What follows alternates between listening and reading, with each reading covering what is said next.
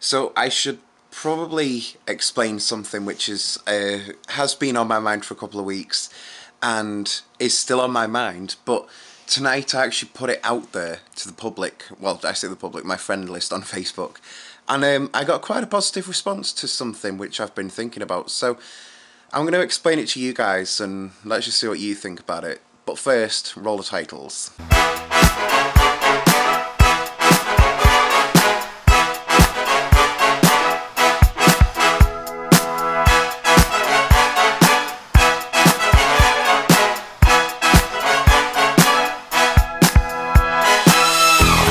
Oh.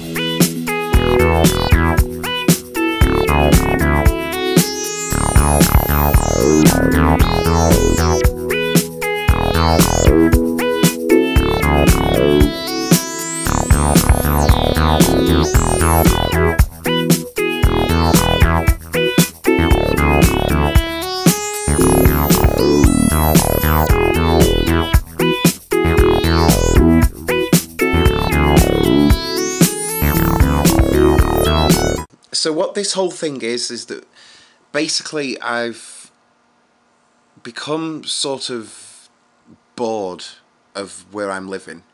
Like a lot of people um, have seen the videos that I've made up um, like in and around where I live. You've obviously seen what the uh, flat is like where I live and all that kind of stuff. And you know, don't get me wrong, it, it's a lovely flat and I still love it myself. And you know, I I do enjoy living here, but I've got to face some facts. Like this this town that I live in has next to no um, employment available, and for someone who's been out of work for like coming up to four years this year, like being out of work for a long time is just so depressing, especially when you're in such an effort to try and get back into work, and you know every other day you just getting rejected from jobs. And you know you don't even hear back from the employers in most cases but those that you do are just saying, "Oh, sorry, position filled," and all this kind of stuff, and you're just like, "Do you know what? This this isn't working for me." And that that's that's what this boils down to. It isn't working for me. Of course, moving isn't just something that I can do overnight. Um, there is a lot of planning that has to go into this because I do want to move area. I've been looking into uh, Liverpool tonight, um, and you know, I, I love Liverpool as a city anyway. Um, it's just a, a fucking amazing place. Uh, and I've been looking at properties on the internet and kind of like thinking, well, hmm, could I afford this? You know, what would it actually be like living there? And again, the, the, the truth of that is is that there, there is work there.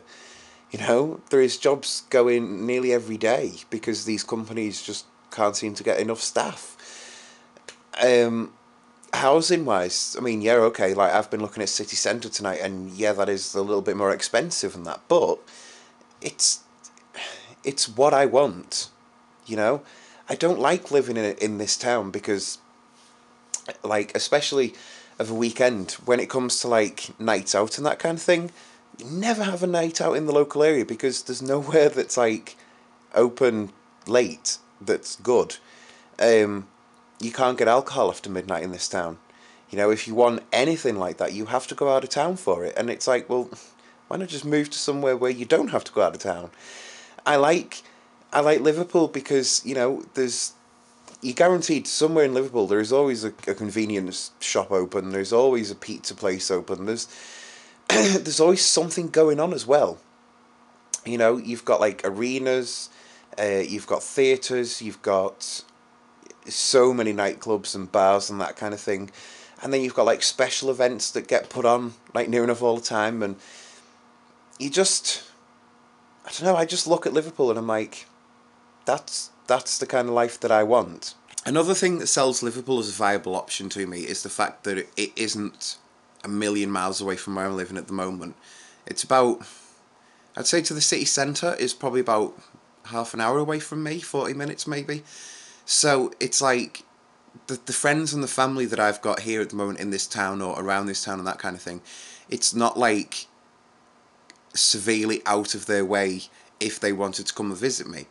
and you know I've got my mobile phone, I've got the internet, I've got that kind of things. So it's like technology is still there. I would still be able to keep in touch with everyone that I'm in touch with now. Like you know that kind of thing wouldn't have to change. The only thing that could possibly hold me back is having Trey, and that's that's not that's not like saying that he's a bad thing and anything like that. But you know I I would have to get a place that would allow pets because you know I've I've okay, maybe I've not had him for like years and that, but like me and him do have this sort of bond now, and I, I, I really don't think I could give him up.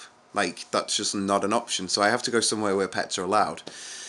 Um, and from having looked at a couple of properties online tonight, I can't see many places that are saying no pets allowed and that kind of thing. So it is possible that he could move with me.